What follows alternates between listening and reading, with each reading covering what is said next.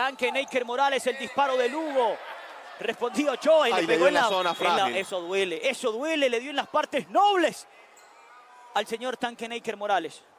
¿Cómo duele eso? Sí. ¿A usted alguna vez le pegaron en esa zona? Ya quema ropa, le cuento. ¡Epa! Lugo de zurda. Allí vemos la jugada. Ah, fue el que el rebote en el jugador de Real Yaracuy le impacta directo ahí en la zona frágil al tanque Morales.